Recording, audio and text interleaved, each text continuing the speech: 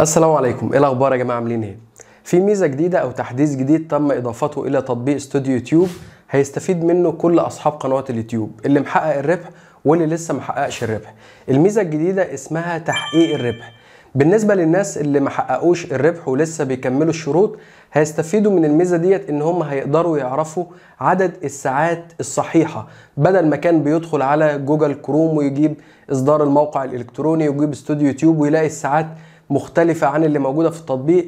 من خلال تطبيق استوديو يوتيوب هتقدر تعرف الساعات العلنية بشكل صحيح. كمان الناس اللي محققة الربح تقدر تفعل الإعلانات من خلال تطبيق استوديو يوتيوب. تعال نشوف الميزة الجديدة هيبقى شكلها عامل إزاي. دي كده قناة ظهر فيها الميزة وده تطبيق استوديو يوتيوب الرسمي. هتبدأ تلاقي تحت أربع اختيارات لوحة البيانات المحتوى إحصاءات التعليقات تحقيق الربح. الميزة الجديدة اللي تم إضافتها وهي تحقيق الربح دي ما كانتش موجودة قبل كده. لو فتحنا تحقيق الربح هتلاقي مكتوب مرحبا واسم القناة. بعد كده هتلاقي حاجة اسمها مزايا البرنامج الدعم الفني الأدوات. وبعد كده آلية الانضمام. طبعا في أربع شروط للانضمام لبرنامج شركاء اليوتيوب علشان تبدأ تفعل الربح. أول شرط إن يكون عندك 1000 مشترك. هنا كاتب لك أهو سبع مشتركين من الألف. والعلامة الزرقاء الصغيرة ديت كل ما عدد المشتركين بيزيد هتبدأ تلاقي العلامة دي بتزيد. الاختيار الثاني وهو عدد الساعات المطلوبة. علشان تنضم لبرنامج شركاء اليوتيوب لازم تحقق 4000 ساعة مشاهدة علنية. بالنسبة للقناة ديت كاتب لك zero ساعة مشاهدة علنية لأن القناة دي مش بتنزل فيديوهات من فترة. أنت طبعا لما كل ما تحقق ساعات بتبدأ الساعات تظهر هنا. طب أنا عايز أعرف يعني إيه الساعات المشاهدة العلنية.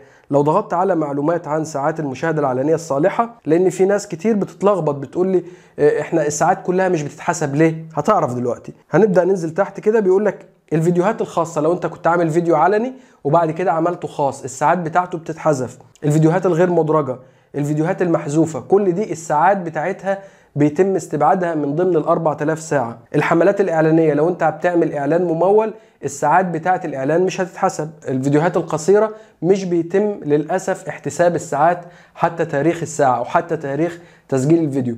مش عارفين بعد كده هيتم احتساب ساعات الفيديوهات القصيرة ولا لا. ولكن هي مش بيتم احتسابها لو تمت مشاهدتها من رف الفيديوهات القصيرة. وأحداث البث المباشر الغير مدرجة والمحذوفة.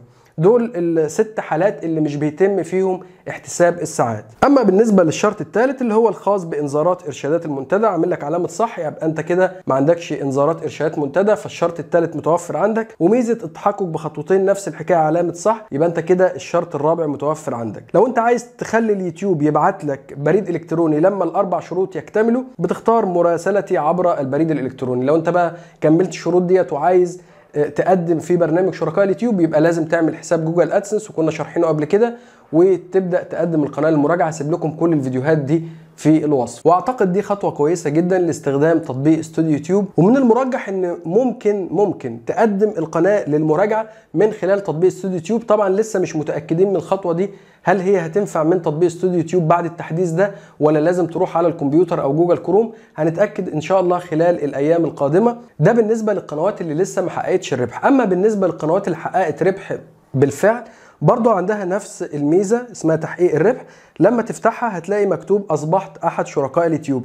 طبعا مفيش الشروط والكلام ده لأنك بالفعل حققت الربح. وكاتب لك أهو نحن بصدد إضافة المزيد من الميزات إلى تطبيق استوديو يوتيوب. هو لسه بقى ما ضافلكش الميزات. وبيقول لك أنت في الوقت الحالي روح على جوجل كروم استوديو يوتيوب وابدأ فعل الربح على الفيديوهات واعمل الحركات اللي أنت بتعملها ديت على الفيديوهات سواء إن أنت تحط فواصل إعلانية على الفيديوهات اللي أكتر من 8 دقائق أو تفعل الإعلانات على الفيديو بشكل عام.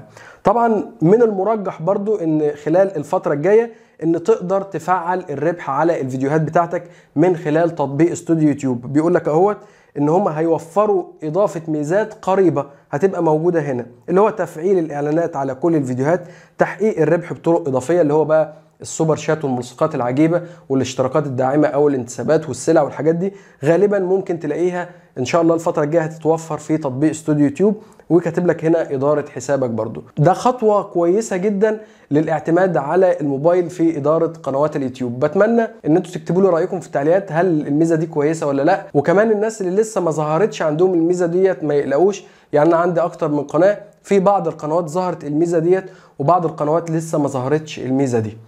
السلام عليكم.